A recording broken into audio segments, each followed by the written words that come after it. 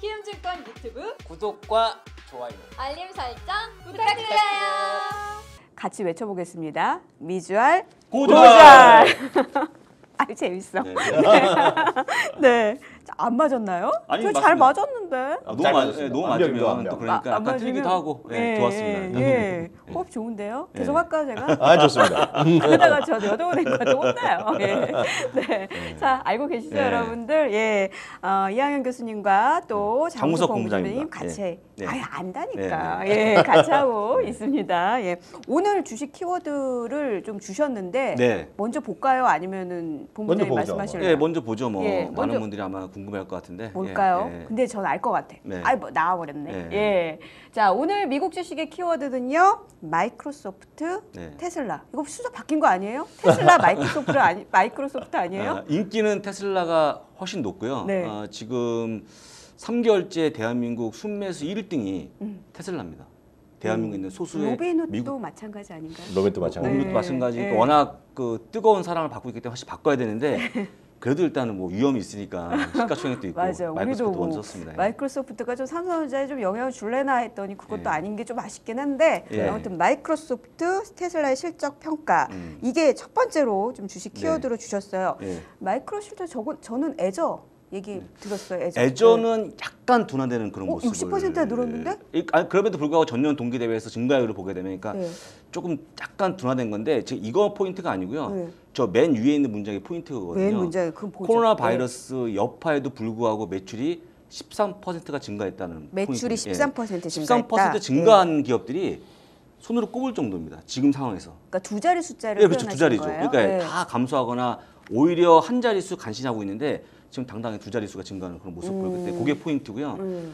어, 지금 EPS하고 매출은 다 일단 상해 예상치 네, 상회하는 네, 그런 모습을 보여줬기 때문에 상당히 좋은 실적이 있음에도 불구하고 네. 기본적으로 어, 더 눈높이가 높았다. 음. 아, 그러니까 워낙 많은 분들이 마이크로소프트가 지금까지 실적 잘 맞추다 보니까 아 이번에 잘 맞추겠지 이런 약간의 생각이 있었고요. 제가 보기에 이제 어, 지금 장이 그 마감 후에 한 2% 네네네. 빠지지 않았습니까? 네네네. 그런 것들은 그냥 그 약간 차익 매물 정도로 보시면 좋을 음. 것 같고요. 저는 개인적으로 이게 좀 시간이 흘러서 다시 한번 이 기업에 대한 투자 의견과 목표 주가 조정이 되면 다시 한번 주가는 올라갈 거라고 보기 때문에 나쁘지 않은 실적이라고 말씀드릴 수 있을 것 같습니다. 음, 네. 아 지금 보니까 밑에 보니까 마이크로소프트의 오프라인 매장 폐쇄가 이익을 감소하겠다. 네. 여기는 온라인으로는 안 팔아요? 아니죠. 그게 네. 그 마이크로소프트가 이제 우리나라에서 매장이 따로 없거든요. 음. 근데 미국이나 이제 유럽, 캐나다 이런 쪽에 보면 마이크로소프트 매장이 있습니다. 서피스. 예, 그래서 스토어가 있는데요. 이게 상당히 재미나는 거가 여기 보면 말씀하신 서피스가 있고요. 엑스박스 게임. 음. 어, 그 네, 네. 그 마이크로소프트 네. 이거 쫙 멋있는 거딱 네. 깔아놔갖고 거기 가서 해보게 해놨구나. 예. 엄청 해놨죠. 예. 그게 딱 어디에 있냐면 위치가 대부분이 마치 버거킹이라는 것이 대부분의 지- 지역적으로 간다는 비슷한 곳은 맥도날드 건너편에 있는 경우가 많아요 미국에. 아 버거킹이. 네, 워낙 예. 그게 버거킹의 전략이에요. 그러면 네. 마이크로소프트는 애플 옆 아니 맞습니다. 아, 맞아요. 맞습니다. 예. 마이크로소프트는 항상 애플과 비슷한 곳에 훨씬 더 크게 이런 게 모토였어요. 음. 그래서 마이크로 애플의 매장도 사람이 복잡 복잡하지만 마이크로소프트가 엄청 많습니다. 어. 그리고 특히 엑스박스 게임 이런 네, 걸 네, 보고 거기 AR, VR 얘기하면 애들이 많이 앉아서 보는 애들이 많이 있었는데 전격적으로 요번에 한 한 달 반쯤에 전부 다 철수하기로 했어요. 아, 그게. 아니다. 아. 결국은 그 게임이 아니라 네. 음. 결국 온라인으로 계속 가자. 그러면서 모든 오프라인 매장을 폐쇄하는데 그래서 왜 요번에 이 감소 요인이 들어가냐면 네. 폐쇄하려면 그런 거 있지 않습니까? 계약을 하면 2년, 3년 확정 계약 해놓은 데들이 있을 거 아니에요. 네, 네, 네. 그러면 페널티가 있죠. 미리 나가거나 임대했으면 그런 것들에 대한 비용이 들고 거기 뽑은 직원들이 또 집에 가야 될 때면 또 줘, 음, 줘야 되고 그러니까. 그래서 이번에 이익을 감소하기 요인이 좀 있었다고 보죠. 그건 일회성이라고 보면 되겠네요. 맞죠. 일회성이죠. 아, 일회성이죠. 그래서 네. 그런 것들이 반영됐고요. 또 하나 이제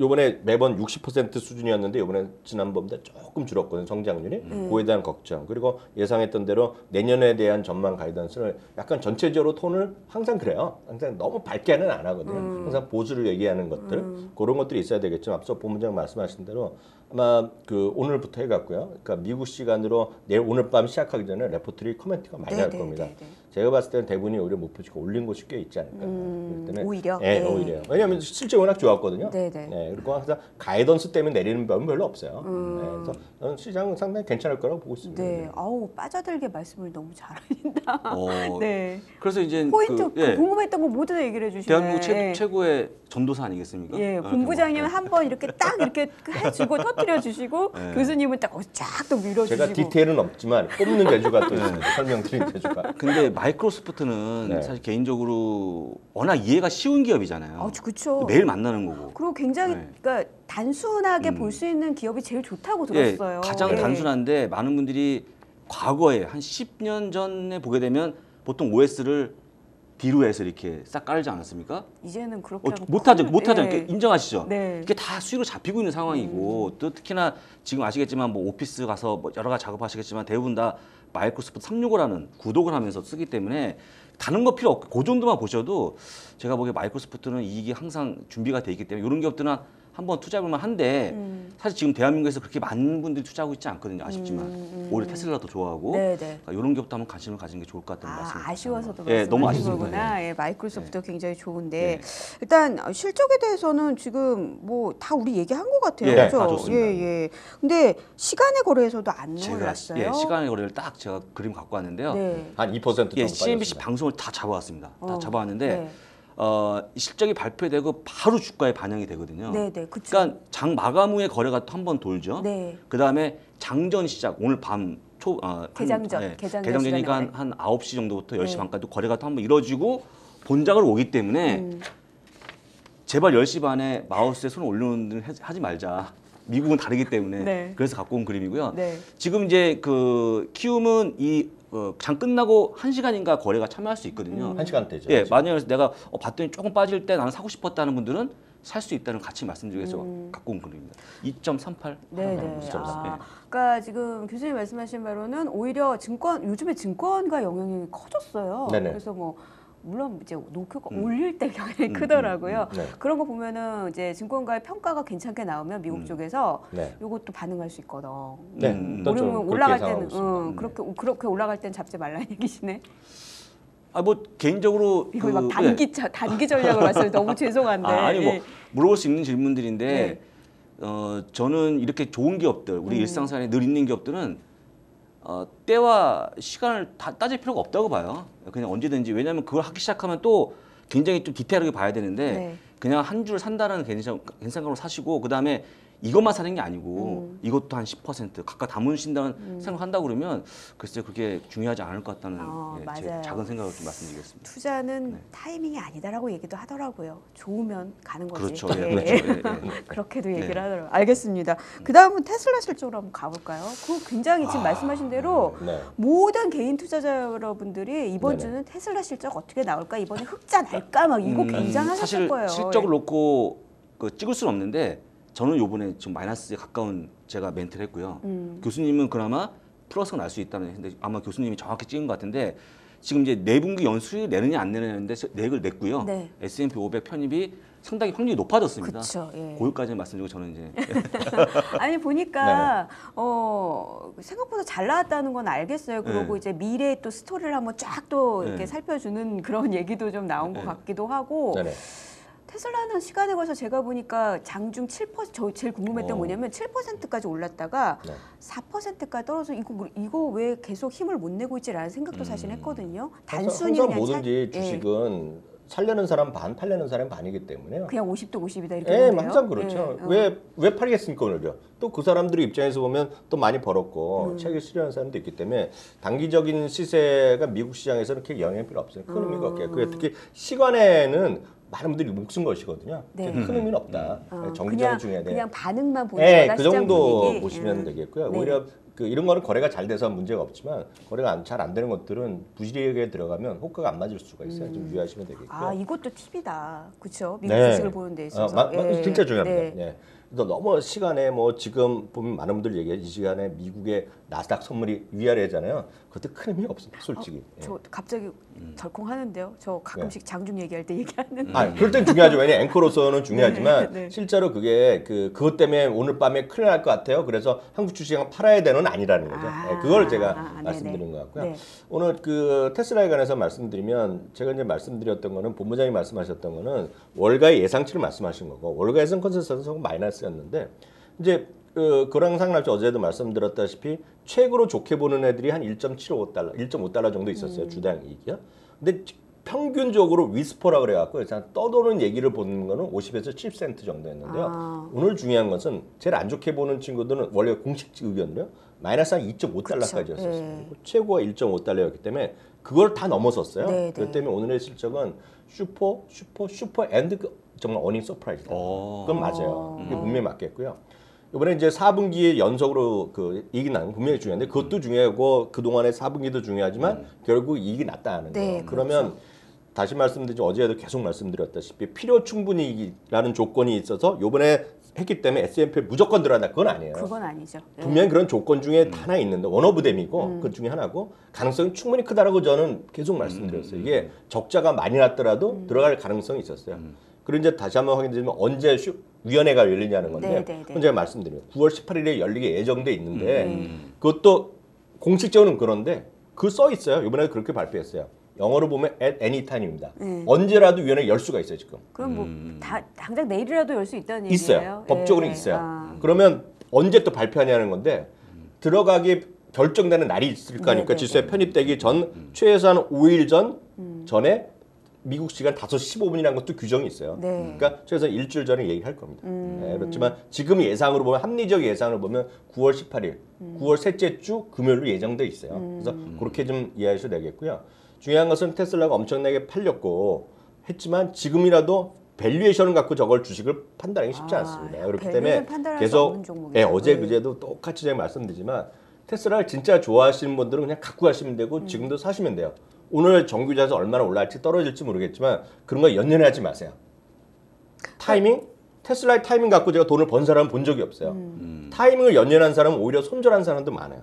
너무 싸게 팔아갖고 스트레스 받는 분 많기 때문에 진짜 여러분 중에 테슬라를 진짜 좋아하시고 일론 머스크를 좋아하시고 이런 분들은 그냥 갖고 가시라 네. 말씀드립니다. 앨런 머스크 트위터 기사들을 보면 팬이라는 표현을 참 많이 써요. 네네. 그러니까 좋아하는 분들이 어. 많다는 거지. 엄청 예. 팬이시죠. 예. 아, 팬이세요? 엄청 팬이시죠. 저는 일론 머스크를 한 10년 전부터 엄청 좋아했고 네, 맞아요. 예전에 페이팔 그때부터 좋아했기 때문에 잘 알죠. 아, 저는. 예, 예. 그, 그 친구가 저를 몰라서 그렇죠. 저는 그 친구를 잘 알죠. 아, 그런 사람 좋아해요. 아, 저. 기억에 페이팔 마피아라는 그 맞습니다, 분들이 맞습니다. 네. 있는데 그 중에 한 머스크가 분이에요. 있는 한 거죠. 예. 아니, 근데. 사실 그거 갖고 좋아하는 사람은 좋아하는 거고 네. 사실 페이팔만 말씀드려도 페이팔 전에 테스 일론 머스크가 지금 같은데 보면 인터넷 뱅킹을 하나 만들었었어요. 그러면서 주- 페이팔에 들어갔거든요. 그거 안에 엄청 암투를 벌여갖고요. 페이팔 네. 처음에 만든 사람이 또 등졌어요. 아. 네, 그런 스, 스- 스토리도 있습니다. 그건 듣고 싶지 않다. 나중에 얘기로는 그러니까 좋은데. 비판하는 사람도 많다. 예. 그렇지만 저같이 좋아하는 사람도 많다라고 네. 이해하시면 되겠죠. 그러니까 어쨌든 보면은 아 미래를 읽는 참 그 부분에서는 아 진짜 대단. 전 테드 보고 네네, 앨런 머스크 네, 네, 그분을 맞아요. 보고 어우 왜 이렇게 왜, 왜 이런 얘기들이 왜 나중에 봤을 때 정말 대단한 사람이구나 하는 생각을 했는데 네. 좋아하는 사람도 있고 싫어하는 사람도 있고 테슬라도 마찬가지고. 네. 그래서 이제 어떤 주식은 이제 어, 일- 테슬라의 주가에 판단할 때는 valuation은 평가하시면 기존의 valuation은 평가 안 됩니다. 그렇기 때문에 PER 이런 거 따질 필요가 없고요. 테슬라의 주가 몇 개의 기업이 있습니다. 참고적으로 말씀드리면 테슬라라는 주식에는 일론 머스크가 상당히 지금도 존재하고 있어요. 테스, 일론 머스크가 없는 테슬라는 설명이 안 되고 살 사람도 별로 없을 거가 되겠고요. 또 약간 비슷한 부류주가 여러분들 좋아하시는 버진 갤럭틱입니다. 리차드 브랜슨이란 기이한 인물이 있는 거예요. 그에 대한 평가 있겠고요. 또 하나가 여러 번 저희가 이 방송을 소개해드렸지만 토비스 루키라는 사람이 있습니다. 이게 쇼피파이를 만든 친구거든요. 좋아요, 쇼피파이도 70% 정도는 토비스 루키의 영향이다 보시면 돼요. 그러니까 그 사람을 좋아하지 않고서는 쇼피파이야 저희도 말씀드렸지만 지금 이 적자 흑자 애매하고요. cash flow 아주 애매하거든요. 절대로 올해 들어 제일 많이 올라온 주식입니다. 쇼피파이가요. 설명이 안 됩니다. 그래서 네. 그 사람부터 이해하시고 주식을 사셔야 되겠습니다. 그래서 미국 주식이 쉽지만 그런 어려움도 있어요. 네, 네.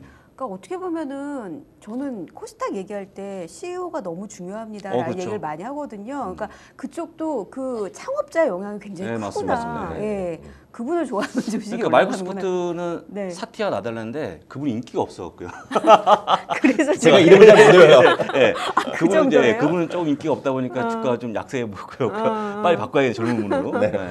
그 사실 지금 뭐 웃긴 얘기지만 하여간 그러다 보니까 일단 이 마이크로소프트 테슬라가 지금 나스닥 100이라고 하는 그 네. 지수 안에 모여 있는데 점점 연연히 커지고 있습니다. 네. 거의 자지우지하고 있습니다. 네. 근데 지금 보게 되면 오늘자 기준으로 보게 되면 마이크로소프트 약 10%대. 그다음에 아 지금 여기 예, 여기 예, 칸 쳐져 예, 있는 칸 거. 쳐져 네, 칸 쳐져 있는 예. 예, 예. 그다음에 어. 그 테슬라가 한 2.2% 2.7% 네, 정도 네, 네. 그 정도 하고 있기 때문에 네. 사실 얘네들이 이제 좀 이 지수 전체를 올려주는 그런 효과를 좀 보여주고 있고요.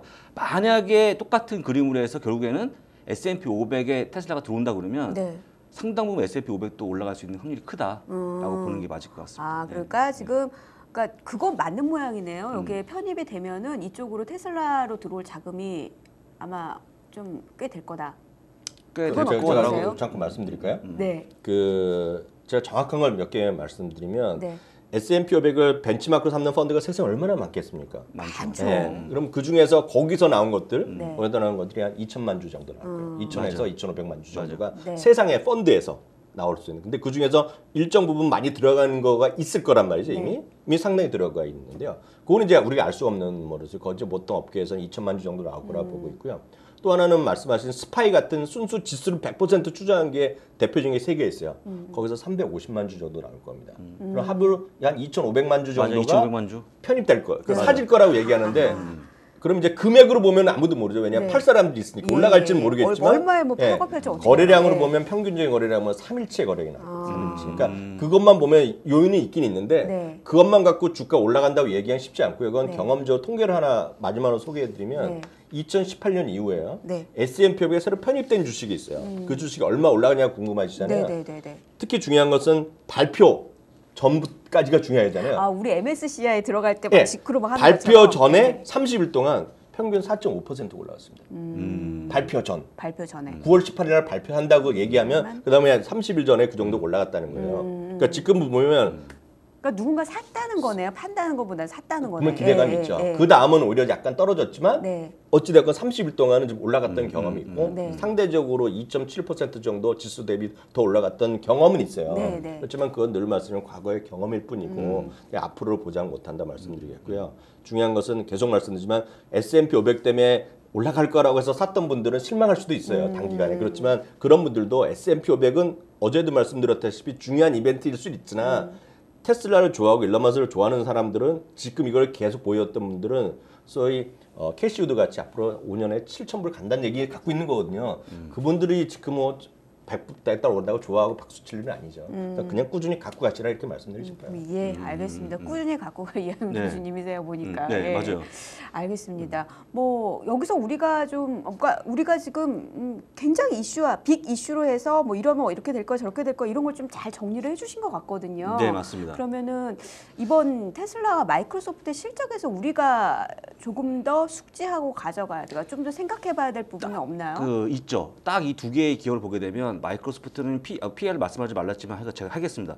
어, 여기는 이제 한 20, 한 6, 7, 뭐 30도 나오고요. 근데 지금 테슬라는 이번에 이제 PER이 나오거든요. 네. 없었어요. 그쵸. 140배가 나오고. 손실이 나면은 못 140배가 하잖아요. 나옵니다. 네. 지금 140배니까 그럼 이렇게 얘기하면 많은 분들이 어 높은지 몰랐다. 하지만 사거든요.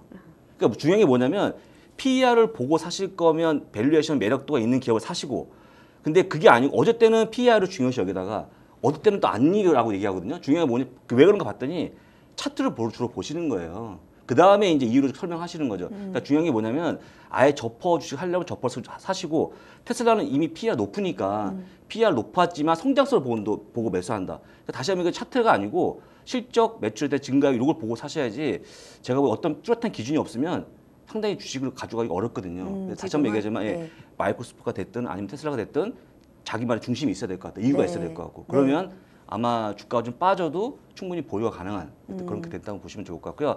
휘둘리지 말자. 라는 차에서 말씀을 드리겠습니다. 예, 알겠습니다. 이렇게 말씀을 들어보니까 일단 굉장히 마이크로소프트가 매력적이신 것 같고. 어, 저는 뭐 마이크로소프트 예. 워낙, 이하영 교수님은 좋으면 사는 거지. 아 그럼요. 네. 거기서 전 이렇게 정리가 되는데요. 네. 예, 좋으시다면 결정하시기 바랍니다. 나쁘다면 어쩔 수 없고요. 예, 이거는 또 우리 투자자 여러분들 선택하실 내용이니까 알겠습니다. 여기서 좀 마무리를 하려고 그러는데 혹시 제가 빠뜨린 거 있으면 말씀해 주세요. 자, 하나, 어. 하나 말씀드릴까요? 자랑, 예. 그 테슬라 때문에 말씀드렸는데 테슬라가 오늘 가져온 대한민국 주식시장 전 세계 영향은 딱 하나로 보고 있습니다. 전기차가 끝난 거예요. 전기차로 가는 세상이 온 거 분명하거든요. 음, 전기차 이제 끝난 게 아니라 그쪽으로 가는 전기차로 세상이다. 가는 건 분명하죠. 네. 왜냐하면 올해 들어서 자동차 메이커에서 유일하게 플라, 매출이 늘어난 건 테슬라밖에 그쵸. 없어요. 예. 그걸 인정하셔야 되겠고요. 그럼 이제 그 다음에 이제 한국 주식으로 보면 열심히 찾잖아요. 키움증권의 영문에서도 전기차 테마 하면 100개 종목이 나옵니다. 근데 보면 여기서 유의하실 게 있어요. 테슬라나 글로벌 기업들이 절대 마진을 크게 안 줍니다. 음. 부품 생산할 때 자기네가 마진을 크게 갖고 가거든요.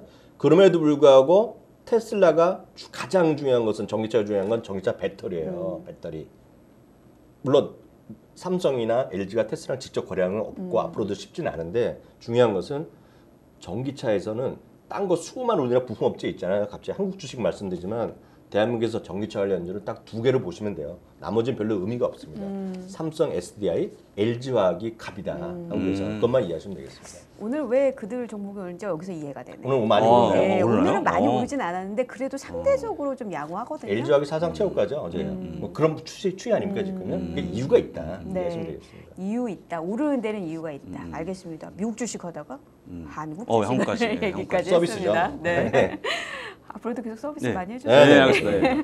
여기서 마치겠습니다. 예, 내일도 또 뵙겠습니다. 네, 고맙습니다. 감사합니다. 네.